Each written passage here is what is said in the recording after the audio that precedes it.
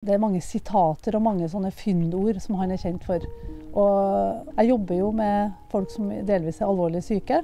Og jeg har også opplevd eh, triste ting i livet mitt eh, sjøl. Og har faktisk eh, ofte brukt et sitat som han Olav Duun sa, og det er at livet og det, det er et farlig bask. Det lærer du verken i skolen eller i kirka.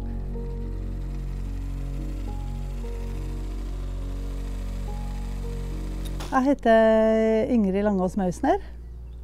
Bor på Gjøa.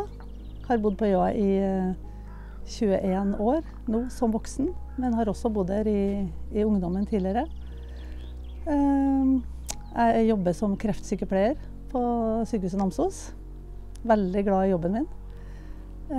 Og så er jeg med på en del andre ting. Bl.a. så er jeg leder for Olav Duun-stevnet 2023. Det jeg liker best å gjøre, det er vel egentlig å gå, gå fjellturer.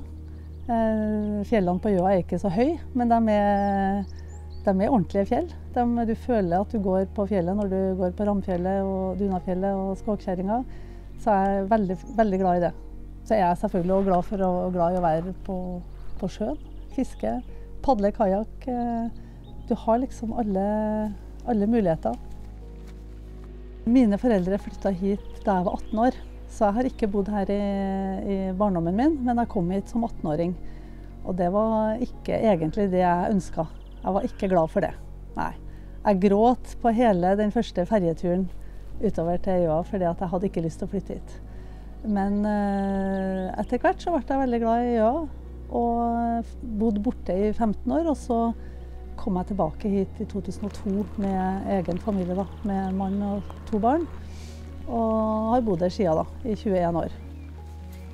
Jeg er veldig glad i Gjøa i dag. Veldig, veldig fornøyd med å bo på Gjøa. Eh, både fordi at eh, jeg syns det er et eh, passe stort sted, som er passe nært Namsos. Det er greit å jobbpendle, men du bor med kjempefin natur, mange turmuligheter både på fjell og på sjø f.eks.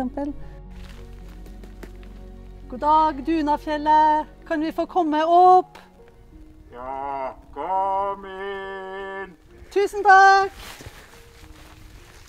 Et varmt samfunn har vi opplevd. For vi har opplevd å, å, å miste sønnen vår eh, for sju år siden. Og vi opplevde virkelig at eh, hele Jøa eh, sto rundt oss på en veldig, veldig god måte. Godt både for han sønnen vår som var funksjonshemma og bodde der i 16 år, og 14 år, og, og for oss, altså. Så det, så det er et godt mm. eh, Olav Duun Jeg hadde vel ikke lest noe Olav Duun før eh, jeg flytta til Gjøa som 18-åring for første gang. Da. Eh, da gikk jeg på videregående og flytta hit. Og så tenkte jeg at OK, nå må jeg lese Olav Duun. Så da min første opplevelse med det var å skrive særoppgave da jeg gikk tredjeåret på videregående, da skrev jeg om Juvik-folket. Så det passer godt i og med at det er 100 år i år siden Juvik-folket ble gitt ut.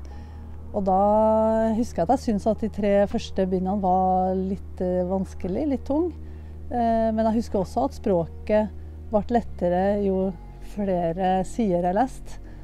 Så eh, jeg hadde en god opplevelse med det allerede, allerede da.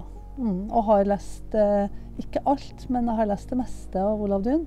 Og eh, er veldig glad i hans litteratur og syns eh, at eh, det er litt urettferdig at han ofte blir kategorisert litt som tung, eller Jeg syns han er veldig aktuell.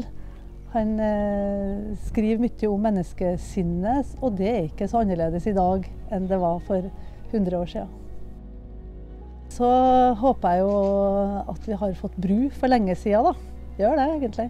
Og så håper jeg at eh, trenden har kanskje snudd i forhold til det at eh, flere ønsker å bo eh, sånn som vi gjør. da. At det er flere som ønsker å bo på landet og syns at det er, er bra og kjenner på de kvalitetene det gir. Og egentlig så tror jeg på det òg. Fordi at det har jo allerede skjedd egentlig på Jå at det er kommet mange unge folk med små barn.